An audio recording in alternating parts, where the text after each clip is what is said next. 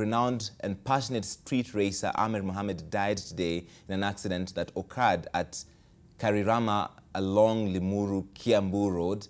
Amir's close friend Jay Soni was also involved in the same accident. The two friends' cars collided head-on. Jay is admitted at the Aga Khan Hospital tonight. Contrary to reports that were circulating in social media, the two were not racing, neither were they practicing, but they were using the same road in the month of October for racing. The two friends had shared a cup of coffee yesterday, we understand. Coincidentally, they had not planned on meeting today, but they were going on with the private businesses before this accident happened. Amir died on the spot. A lot of interest in the story. And let's bring in now Amir's friend. Bob is here with me, as is um, Patrick Onyoni, who is a rally driver. Both of you knew Amir. So talk to us exactly about what happened today. You were not there, but you were with Amir last night. Um, well, I was not with him last night, but mm -hmm. um, we had spoken you spoke. Um, the whole day, yes. And mm -hmm. we, um, we were supposed to go to Masinga for another club we have, Bundu Rovers, mm -hmm. for an off, off, off-road event. And uh, apparently, um, sadly, um, I did not call him on the way out, uh, as we had agreed. So when I got to Masinga, there's no network, and um, sadly, he didn't come. And today I woke up to a very, very sad story. And uh, apparently, on um, investigating and finding out from my friends, it was like this. Um, there was no race to begin with. Mm -hmm. And uh, what exactly happened? You see, what Amir did is, is, is a good uh, motor vehicle builder. Mm -hmm. So he had built up his, um, his uh, skyline, and he called his friend Jay, apparently, to come and uh, you know find out how the car is and to enjoy it. And uh, the sad fact is that uh, Amir came into Kiambu on the, the road between Dumberi and Limuru. Mm -hmm. He came in the back route. And Jay came in very well from the front route. And uh, Jay was looking for Amir, and Amir was coming up looking for Jay. Just tell me how unfortunate it is that two people were supposed to meet today morning, have a head-on, and met the wrong way. So it was purely an accident. They were looking for each other, one from one coming from one direction, one coming from the Pure, other direction. Purely an accident, Larry.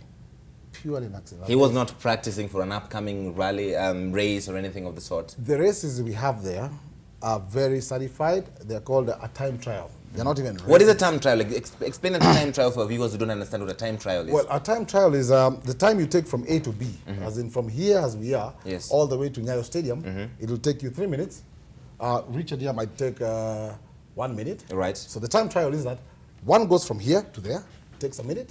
The other goes from here to there, mm -hmm. takes two minutes. Mm -hmm. And he who takes the shorter time wins. All right. It's a time trial. It's not a race. They're not two cars at any one time. So you don't leave at the same time? Never, ever. Okay, let's bring in Richard because we're showing pictures right there. These are, you survived a fire in your car. You're a rally driver. That's and what happened exactly here? This was during the 2013 KCB Safari Rally, and this was um, on the stage section number 7 mm -hmm. It was actually the last stage before we were going into service. Everything was running perfectly well. And uh, we actually, the first thing that let me know that something is uh, uh, wrong with the vehicle was the brakes went soft. So I just pumped the brakes, they came back. And uh, going into a dry river crossing, uh, uh, that's when I looked at the mirror and mm -hmm. I mm-hmm. saw there was a big flame. Mm -hmm. So it happened in a split, split second. And before, immediately after I stopped the car, before we know it, we just had a few seconds to get out and the whole car was in a ball of flames. The reason why we bring that up is because now you talk a lot about safety. Yes. And the, the, the bands of Kiambu especially are much loved by not just racers, underground racers, but also bikers. And they claim a lot of lives. Yes. Why is it that people die so, so, so much around here? Well, let me, let me tell you, um, Larry, motorsport, um, the love of bikes and cars, is basically like playing Russian roulette. Mm -hmm. At one day, your bullet is going to come up. So when we do it in rallies, we've got all the safety equipment that you can see, the roll cages, the fireproof overalls. That's mm -hmm. what saved us. Uh, we came out of the car unscathed. Mm -hmm. But now when you're doing a street race in a standard car, some cars understand Bob is bringing roll cages now, mm -hmm. but basically they're street going cars, so it's got your standard seat belt, uh, no roll cage. So it becomes dangerous if you do have enough. Mm-hmm. And as I said, it's Russian roulette. You push that limit at one day or another, it's going to happen that you'll have an accident. And the faster you're going, the more likely to be fatal, the accident, if it happens. Exactly, yes. So the best thing that I would uh, ask people to do is to put in those safety measures, which uh, uh, Bob is uh, already bringing, the roll cages, mm -hmm. helmets, uh, not your standard seat belt, to have uh, what we call a rally harness, so that in case you do have an accident, it's, you're fully strapped in and you don't start flopping around in the vehicle. Bob Kaugi, let me ask you this. A- A- Amir was already a very well-established uh, driver. In fact, you say to be one of the fastest in the country. Yes. But he also understood the, uh, the safety aspect of these things. he was very much aware about the safety aspect. And um, we've had a few, actually four events called the Kiambu TT. And um, you cannot come uh, to, to that event if you don't have um, the, the harness, is, um, uh, the, the, the safety harness for you on your, on your belts. F- Um, proper tires, not just old tires, almost new, 80%. Proper suspension, we go through scrutineering. Now, the thing we did, on January we were supposed to have an event. Right. But um, because it's become so popular, it's become so big, and it's becoming competitive, uh, we decided and we agreed that we have roll cages. So we pushed up the event for January to May. So we have 32 roll cages already ordered for 32 guys who want to race. So it's safety first. All right. Yes. For a lot of people who think, okay, there's this large stretch of the road in Kiambu, it's fairly open, I drive a Subaru, why shouldn't I go there? Your average Impreza, your average Forester, and you want to just going to have fun with some of your friends, um, Mr. Nyoni. Okay. Um, thank you, Larry. What I'd like to um, urge people or implore people is to desist from that sort of driving.